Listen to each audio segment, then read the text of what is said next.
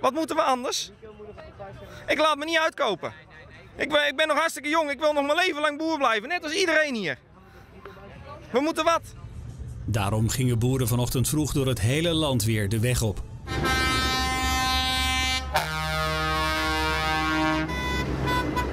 De boeren blokkeren met hun trekkers verschillende distributiecentra van supermarkten, zoals hier in Breda, Geldermalsen en Blijswijk. Heeft dit zin, zulke soort acties? Nou ja, dat is natuurlijk de vraag. Want eigenlijk uh, willen ze niet echt luisteren daar in Den Haag.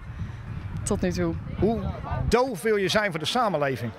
Wat, wat, wat, wat willen ze? Dat, dat een, moet de puin op, moet het nog groter worden dan?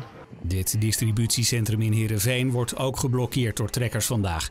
De supermarkten zijn niet blij met de acties. Dus je kunt niet op deze manier grootschalig uh, de voedseldistributie van Nederland platleggen door uh, te gaan blokkeren. Met name omdat het een conflict is wat boer, die boeren hebben, die ze met de overheid hebben en niet met ons. Maar wij worden als drukmiddel gebruikt. Maar daarom vinden wij het onacceptabel, want je, je dupeert hiermee uh, de consument in Nederland. Ook snelwegen moeten het ontgelden. Bijvoorbeeld de A35 bij Enschede, waar boeren zelfs langs de weg staan te barbecuen nadat ze het verkeer geblokkeerd hebben. Op het Mediapark in Hilversum barricaderen andere boeren de toegangswegen met boomstammen. Mijn bedoeling is erachter dat ik boer wil blijven en dat ik een toekomst wil hebben. En dat ik zo en zo een, een leven wil hebben. En dat ik niet als een of andere crimineel word weggezet in Nederland. Dat ik niet meer mag boeren en dat ik ook, dat ook nooit meer mag. Dat ik gewoon uit mijn ambt ontzegd word. En ik heb geen toekomst, want die is allemaal naar de kloten met dit kabinet. Deze boeren in Nijkerk proberen maar het beste van de acties te maken en hebben hun bubbelbad meegenomen.